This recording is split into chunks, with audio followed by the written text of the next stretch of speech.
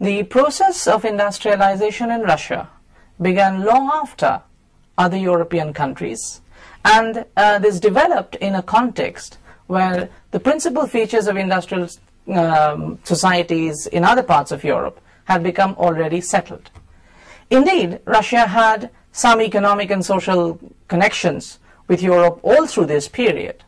But nevertheless, unlike in the western parts of Europe, where the principal drive towards industrialization was from economic imperatives of competition against the burgeoning industrial country of England and then France and Germany, in Russia, by contrast, the principal drive towards industrialization came from political establishment, not economic imperatives.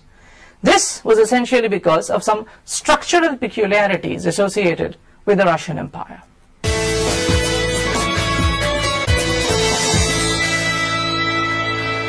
In the, in the first place was the problem of the market.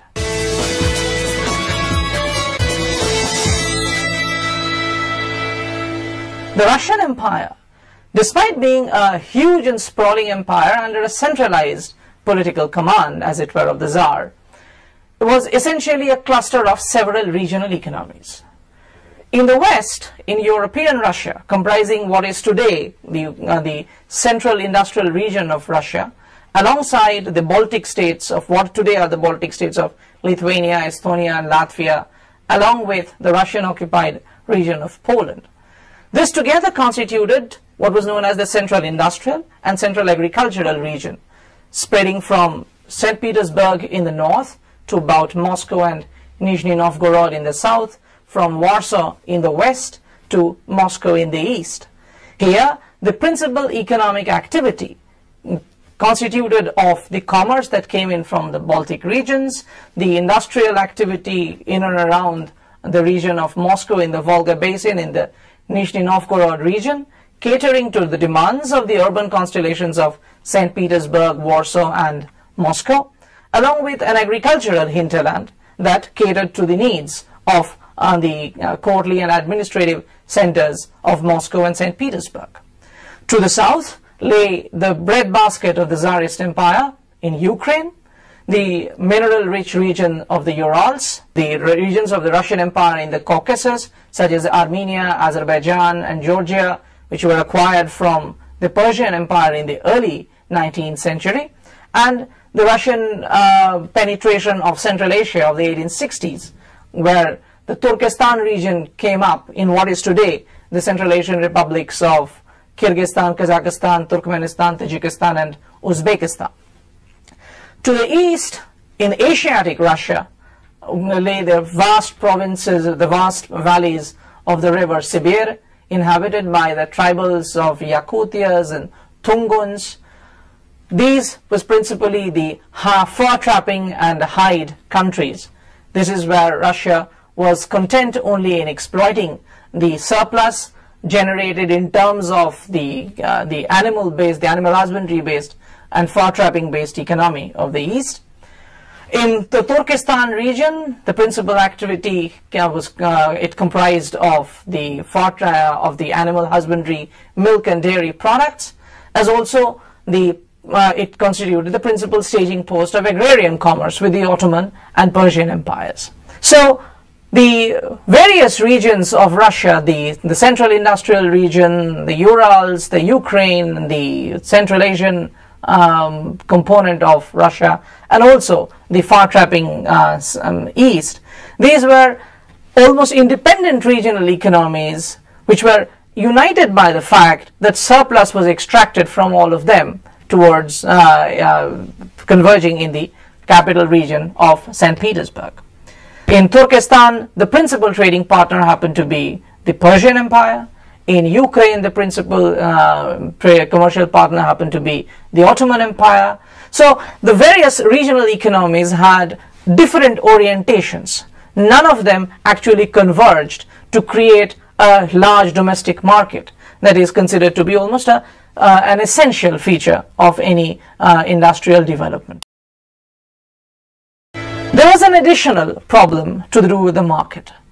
Russia had very poor, very backward transportation system and very backward communication system. In the 19th century, at a time when Europe, western parts of Europe were advancing uh, at a very, at, at almost a breathtaking speed, when Britain had integrated, physically integrated the entire component of the British Isles. France and Germany were also uh, being united by good roadworks and good railways.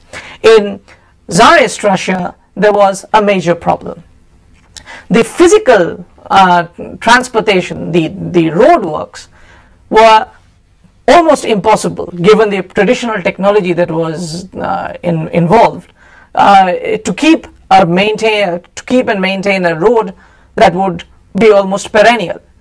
In the Russian north, in the St. Petersburg region, the coast, the, the coastal region also almost tended to freeze, and the the principal navigational network of the Volga and the Don and the Dnieper tended to freeze up during the months of November to March.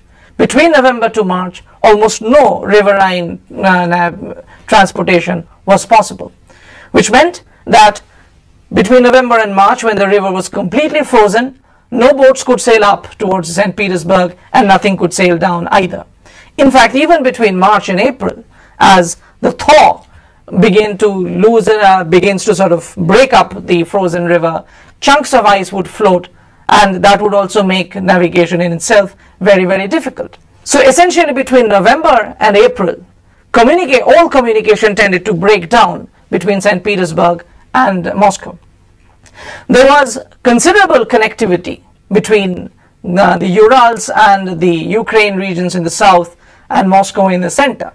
But for any major transportation into the principal demographic region of the central industrial region, all transport had to be done essentially between during the summer months, between April and October. So if because of the inadequacy of the roads, because of the bad condition of the roads in this extreme weather, between April of a year and October of a year, if goods would be transported between the Urals and Moscow, by the time they reached, um, by the time they reached St. Petersburg, the winter would have to pass. So goods would move uh, between April and September, and then as it were, they would chill out between September and uh, next April and only after there was a thaw that goods could move upwards. Which basically meant that if there was uh, there was to emerge a market, it would have to be a market which could be catered over a period of a hundred uh, over a year and a half, and this prevented any consumer durable industry ever emerging. All items of daily use, all manufactured items of daily use, had to be produced with the idea that it would be consumed in the immediate region adjacent to the area of production. So all the items of manufacture, all manufactured goods that would have any market in the central industrial region would tend to be manufactured in the central industrial region itself. Whatever would be manufactured in the Urals would have to be consumed over there.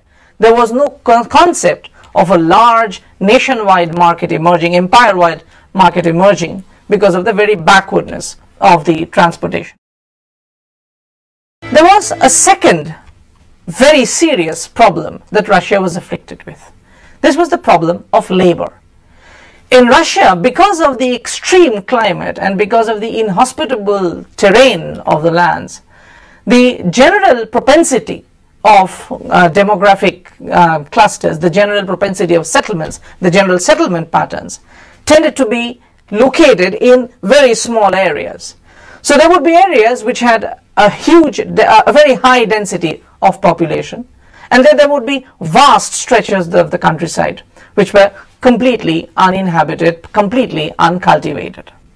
In this kind of a situation of extreme um, climatic conditions, all activity, all economic activity had to be carried out under the very old traditional system of serfdom. Serfdom, which had more or less phased out of Western Europe by the 15th and the 16th centuries, and had begun to be assailed in other parts of Eastern Europe by the end of the 18th centuries, and it had collapsed as far east as in Prussia in the early 19th century, survived, it was alive and kicking in Russia till the second half of the 19th century. There was a reason for this. Because of the harshness of the climate, mobility of labor was completely unthought of. Because all the economic activity would be considered to be the responsibility of the estate of a feudal lord. The feudal lord was in charge essentially of all the productive activities in a region from which he would extract the social surplus and transmit to Moscow by way of revenue. This responsibility of the feudal lord had its inevitable corollary in the practice of serfdom because the feudal lord was responsible for the total volume of production and for the revenue to be handed over. He made sure that labor remained to work this thing out. And because of the harshness of the climate and because of the problems of the market, the feudal economy in Russia tended to be labor intensive rather than capital intensive. So more and more units of labor had to be thrown into cultivation of the lands. This did not mean that all in economic activity would necessarily have to be limited to agriculture. There were areas where, in spite of throwing more and more units of labor into the agricultural estate, adequate agricultural surplus would not be generated. In Russia, the tendency towards artisanal production also therefore had to be orchestrated by the feudal lord. If the agricultural productivity was not adequate in a particular estate, the feudal lord would encourage the serfs to engage in artisanal production. He would essentially specify the uh, products to be manufactured, he would specify the price at which it had to be sold, and this was principally being in, being mindful about how much revenue was required. So when the Western economic competition began, Western industrial competition began to affect the central industrial region of Novgorod, for instance. It was the Russian feudal lords who would tend to encourage the serfs to go out and acquire industrial technology from other sources. So a serf would occasionally be given a charter of almost temporary freedom. A serf would deposit an amount with the feudal lord and would be allowed to leave the estate to which he was otherwise tied. And he would then go and acquire from other parts of Europe industrial technology and he would then be bound to bring it back and introduce such technology in the um, Russian um, estates. In so doing, for people like Putilov, who began as a serf, ended up having a huge industrial um, conglomerate under his command by the end of the 19th century. It was Putilov who, for instance, for the first time went ahead and brought new mining and metallurgical techniques into the land of the Urals. In fact, there were other enterprising characters associated with the incipient industrialization of Russia in the 1860s who had begun their lives as serfs. Morozov and Ryabushinsky are very good examples of this. In the Russian estate, therefore, the serfdom, the practice of serfdom was not as constrictive as it tended to be in Eastern Europe, in, in particularly in lands such as Prussia. Nevertheless, there were problems of movement. So whether a serf would be allowed to venture outside Russia, whether it would be allowed to venture outside the estate was dependent entirely upon the goodwill of the Russian feudal lord. Additionally, although there were provisions in the Russian feudal setup for the serfs to acquire private property through their own enterprise so that they have some incentive for production, how much rights they would be given, how much property rights they would actually enjoy depended basically on the goodwill of the Russian lord.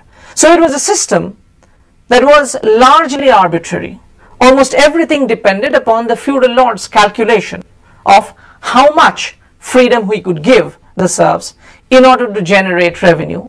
And he was particularly mindful of the fact that in the, how, in the climatic conditions of Russia, mobility of labor was a bad idea. So a large number of the Russian people who were beneath the station of either the feudal lords or the urban um, bourgeois um, characters, which are few few and far between, the bulk of the Russian population remained working in the agricultural estates owned either by the state or by the feudal lord or by the king himself. It is not, however, that the serf, the population, was deployed only in the estates, in the agricultural estates of the vast regions of Russia. In the Ural region, for instance, the industrial and the mining activities in the Urals was carried out almost entirely on the back of servile labor. The, uh, the Ural region being still more inhospitable in terms of climatic conditions, it was considered equally inadvisable in the Urals to give any sort of freedom of movement to the laborers. Hence, the people tended to be locked onto uh, the mines and the industrial enterprises over there. And this, the Russian government had full support in, largely because the mining region of Urals was geared entirely, almost entirely, to the uh, military sort of production for the Russian state. So the mines of Urals were being, uh, and the, and the, and the uh, coal and iron industry of Urals was principally uh, devised and run with the aim of meeting the demands generated by the state by means of warfare. So long as there was no social imbalance in the Russian Empire, inside the Russian Empire, uh, the way there was developing in France or Germany in the early 19th century, the Russian Empire considered itself to be particularly safe. The change really begins when Russian industrial backwardness was thrust onto it by way of a big news of the defeat in the Crimean War.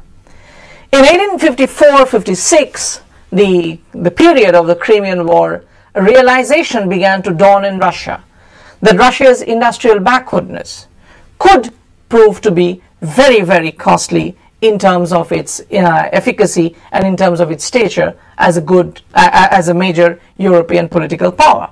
In the war that was fought in, a, in, uh, in the Crimean region of uh, the Russian south, Russia was decisively defeated by a coalition of British and French troops fighting on behalf of the Ottoman Empire. And the principal lesson that Russia learned from this decisive drubbing, the most probably one of the most significant turning points in the history of Russia in the modern times, was that industrialization gave Britain and France an edge in that age that Russia did not have. Britain and France could swiftly transport their troops on the back of railways and on the back of steamship navigation, whereas Russia, even though it was basically pooling its troops from all parts of the Russian Empire, the physical difficulties of transporting the troops into the Crimean region proved to be a very uh, decisive factor in the defeat of the uh, empire. So the Russian elite, in the wake of the Crimean War, resolved that Russia too had to industrialize in order to relevant, remain relevant in the scheme of balance of power in Europe. And it was largely with the decisive determination on part of the state that Russian industrialization begins as a process. The problems that were identified right away were very simple. That Russia too needed railways the way um, the rest of Europe had. The realization that Russia needed railways in order to remain relevant uh, in the European scheme of things was accompanied by a further realization that Russia must be able to develop industrially in order to sustain that railroad development. And it was further realized that the principal problem of any, any economic development in Russia was that there was no united market. So the demand that could sustain industry would have to be generated by the state itself. There was the additional problem of the immobility of labor, which had by this time been identified as one of the driving features of industrial societies. And there was the still further problem, a greater problem in many respects, was the problem of capital accumulation. Because Russia was divided into a cluster of five, four or five different regional economies, none of which were economically very vibrant, not much capital was being accumulated. And since Russia was a late starter in the direction of industrialization, Russia needed to generate more capital because it had to buy far more expensive technology than any of the other European powers had to. So what was designed as a remedy was a thorough structural overhaul of the Tsarist apparatus. And the fundamental problem that was identified as the thing to start with was the, the practice of serfdom. Serfdom in Russia was abolished by means of three decrees, three emancipation edicts of 1861, 1864 and 1866. In 1861, all serfs employed in private estates of feudal lords were given their freedom. In 1864, freedom was given to state-owned serfs and in 1866, freedom was given to serfs employed in the, in the Russian south, particularly in the Urals region. The manner of emancipation has important resonances for subsequent Russian history. So it's probably important, so it's probably useful to uh, look into this for a brief while. Estates, the feudal estates were essentially broken up into lands that would belong to, uh, would, that would continue to belong to the feudal lord and those that would be given to the village of um, the Rush, of, of the peasants which was collectively known as the Mir or the Obshchina. Generally what happened was a third of the land would be given by the feudal lord away to the Mir for cultivation, in return for which the feudal lords would be receiving a compensation from the state. Because the peasantry were unable to buy their freedom, the, the state came forward and extended the compensation payment to the feudal lord who therefore did not sustain any loss by giving up his command over the uh, over the servile labor force that he had and in return for the compensation that the state would pay the mir over a period of 49 years over a period of uh, in by means of 49 annual installments would pay back to the russian state the compensation that the russian state had paid on their behalf in 1861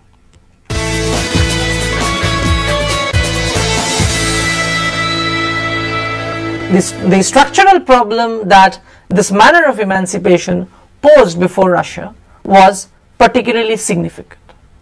It was this, that since the Mir was, was made responsible for a repayment of the total amount of compensation, the Mir was never willing to let the Russian serfs leave, or, or the erstwhile serfs to leave freely. So the basic idea that emancipation of the serfs, the abolition of serfdom, would generate, would liberate the Russian labor force for use in the industry, would ultimately not really work out for a fairly long time till, in fact, the Stolypin reforms, which we will come to discuss later.